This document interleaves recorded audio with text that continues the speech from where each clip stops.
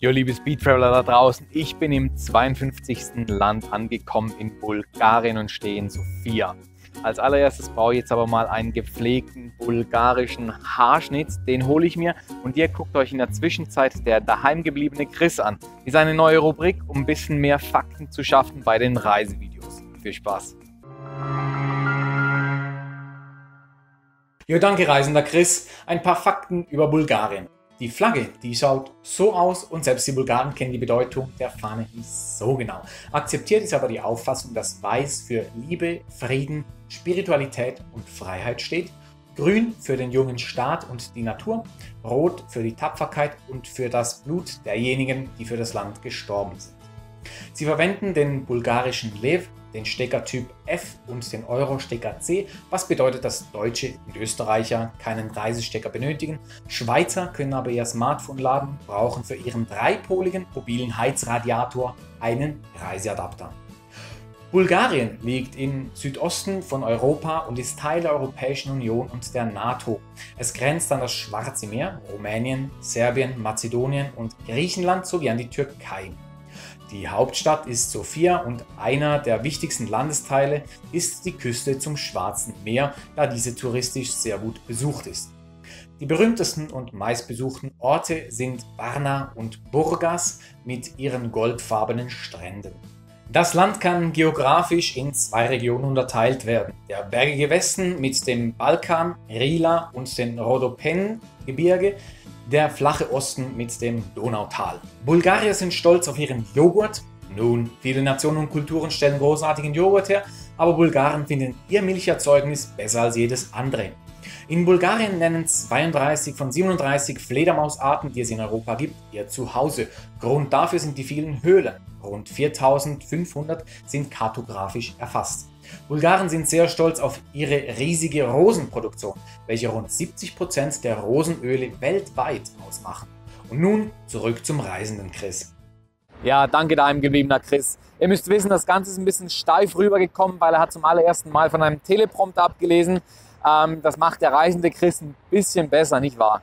Ich habe mittlerweile einen bulgarischen Haarschnitt und somit kann es ja auch losgehen. Beim aktuellen Balkantrip starten wir wie immer in München, fliegen nach Sofia, da wo jetzt gerade der reisende Chris steht. Wir machen einen Abstecher über Mazedonien in die Hauptstadt Skopje, gehen weiter in den Kosovo nach Pristina und fahren dann durch Serbien, um dann in Belgrad anzukommen und wieder nach Hause zu fliegen. Das ist unser kleiner Balkan-Trip. Wer mitgerechnet hat, weiß, dass wir mittlerweile bei 51 Ländern sind. Am Ende dieser Reise werden wir vier weitere Länder hinzugewonnen haben und sind somit bei 55 Ländern angelangt.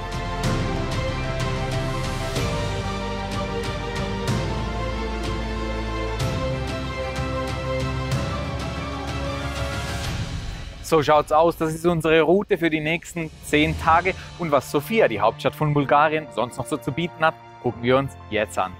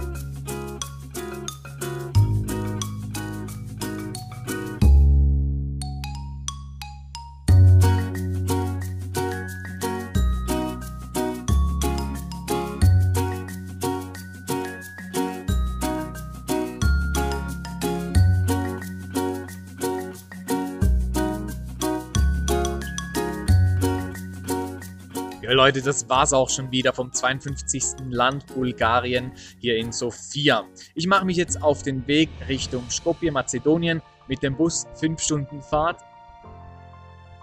Ihr könnt derweil noch einen Kommentar hinterlassen, sagt mir, was euch besonders gut gefallen hat und was nicht. Einen Daumen hoch oder einen Daumen runter, wenn es gefallen hat oder auch nicht. Und abonniert auch unbedingt den Kanal. Wir sehen uns.